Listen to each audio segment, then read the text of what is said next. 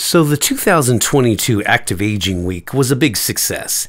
In our 12th year of hosting Active Aging Week, we had multiple events and activities per day.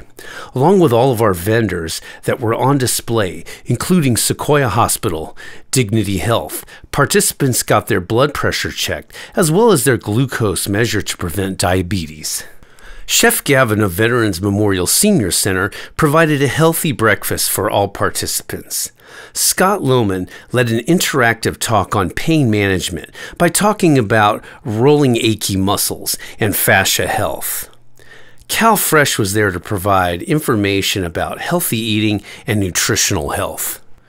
Dignity Health also provided a talk about blood pressure and how to control hypertension. Hip Housing was another important vendor that provided important information on affordable housing. One of our own instructors, Ruth West, taught a seated yoga class. Sunrises Dental presented a talk on dental health and hygiene.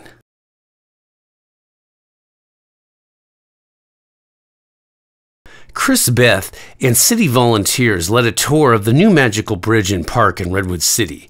Participants got to try all the activities and fun the Magical Bridge has to offer.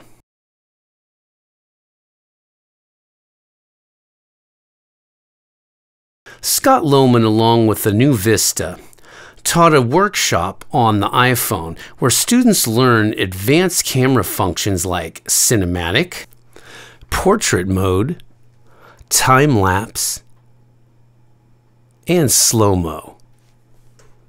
This is really fun to watch. Our instructor, Sang Ponyak, gave a talk on foot function and its effect on posture and overall function and health. We also offered a balance circuit where participants could get some exercise and improve their balance while they're at it. Ruth West taught bingo yoga as well as a really fun line dancing class that we all had a blast participating in. Pets in Need was there to chip people's pets and provide other valuable services. Susan Martin taught an arts and crafts workshop where participants painted birdhouses. Everyone had a great time. They looked absolutely amazing. Nada Sperling led a fun event called Name That Tune, which included a wonderful harmonica performance by Ivan. Linda Burrows wrapped up the event with Nutritional Family Feud. Overall, it was really fun and a pleasure to host the event for our 12th year.